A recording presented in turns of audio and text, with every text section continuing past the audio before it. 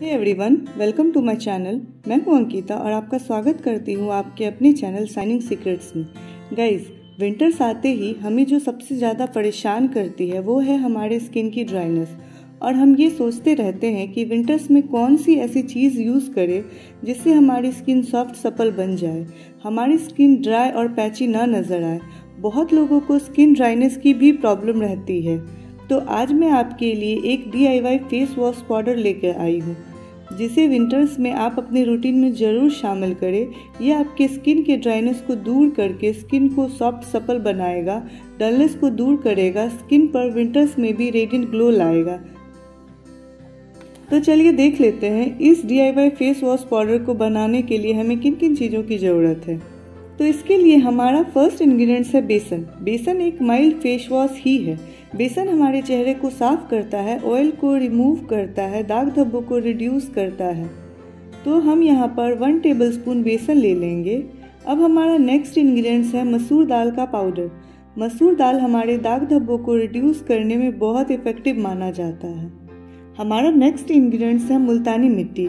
ये स्किन को टाइट बनाता है ओपन पोर्स को श्रिंक करता है, चेहरे को बेदाग बनाता है।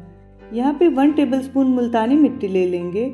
नेक्स्ट इसमें जाएगा सैंडलवुड पाउडर जी हाँ चंदन पाउडर हमारे स्किन की एजिंग को डिले करती है पिंपल एक्ने को दूर करती है स्कार्स को रिमूव करती है। स्किन को सॉफ्ट सपल बनाए रखती है और टैन को भी रिमूव करती है। तो यहाँ पर एक टेबलस्पून के आसपास चंदन पाउडर भी ले लेंगे। हमारा नेक्स्ट इंग्रेडिएंट्स है coffee coffee powder skin brightening में हेल्प करती है, साथ ही स्किन के दाग धब्बों को भी रिड्यूस करती है और चेहरे के ग्लो को बढ़ाती है। तो half tablespoon coffee powder डाल देंगे और हमारा लास्ट इंग्रेडिएंट्स है हल्दी। हल्दी हमारे स्किन के दाग धब्बों को लाइट करके स्किन कॉम्प्लेक्सन को इम्प्रूव करती है। इन सबको अच्छे से मिक्स करके एक एयर टाइट कंटेनर में रख लेना है। इसे आप वन मंथ तक आराम से स्टोर कर सकते हैं। चलिए, अब बात कर लेते हैं इसे लगाना कैसे है। जिनकी भी स्किन ऑयली है, वो इसे रोज़ वाटर के साथ मिक्स करके लगा सकते हैं। नॉर्मल स्किन वाले इसे दही के साथ मिक्स करके लगाएँ और जिनकी भी स्किन सेंसिटिव है, वो इसे दूध के साथ मिक्स करके लगाएँ।